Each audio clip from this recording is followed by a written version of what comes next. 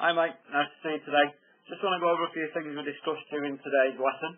Um, really the first thing was relating to your setup position and making sure that the weight's on the balls of your feet in the setup and throughout the golf swing. You just got into a case where your weight just drifted back to your heels slightly, which then brought you away from the golf ball and slightly affected the balance.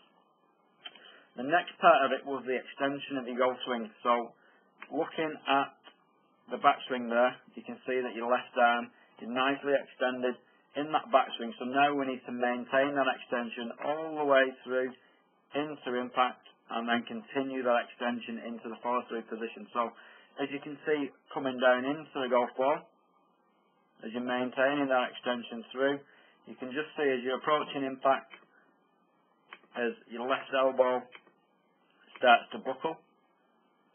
So the extension there hasn't been maintained. And then as we continue that swing into the follow through, you see as your elbow, left elbow bends, and moves backwards, and also you create a little bit of separation there between your left elbow and your body, so you're becoming disconnected in the swing. And as we continue that follow through, you can see that right arm in this position should mirror image the backswing, so you, now your right arm should be extended, which it isn't. And again, that's caused because your left elbow is buckled and worked its way backwards. Um, just looking at that a little bit more closely, so as approaching impact there, you can see that your left elbow's um, slightly bent, which again, as we said, takes the club slightly away from the from the ground.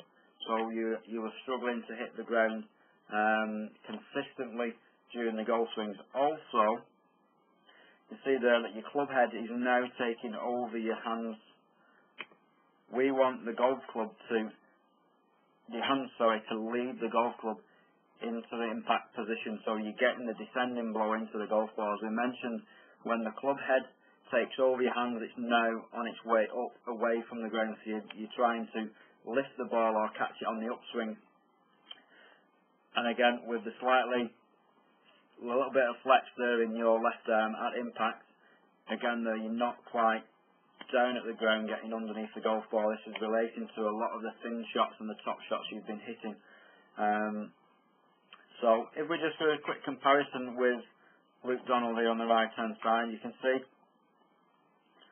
he's maintained his extension all the way through into impact and you can see just as is approaching impact you can see the straight left arm and the club head is behind his hands. His hands are leading that club head into the golf ball so he's getting a descending blow into the ball whereas yours, as the club head takes over, you're trying to scoop the ball up in the air and trying to lift it into the sky, whereas Luke's actually hitting it down into the floor and he's using the golf club to get the ball up into the sky. Again, as he goes into follow through position, he maintains that extension with his right arm, so the, the follow through is a mirror image of his backswing. So what we did, we gave you a couple of drills to work on. Uh, one was swinging the club with your left arm, which swinging the club with your left arm maintains the extension. It gives you feelings of maintaining the extension and your hands leading the club head. We also worked a little bit on your rotation of your forearms. You tended to flick your wrist, which allowed the club head to take over your hands. So we wanted the hands to lead the club into the shot, and I wanted to rotate your forearms. So another little drill we gave you to do was to work on the rotation, but also swing the club one-handed. So with the left hand on its own, with your right hand across your chest, holding your left arm just above the elbow. And again, we wanted you to make the swing, come into impact with your hands leading the club head, and allowing your left arm then to rotate.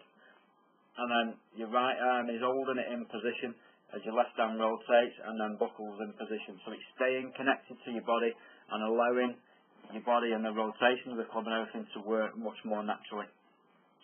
So, good luck with that. Uh, if you've got any problems, just give me a call. But on the other hand, I'll look forward to seeing you again very soon.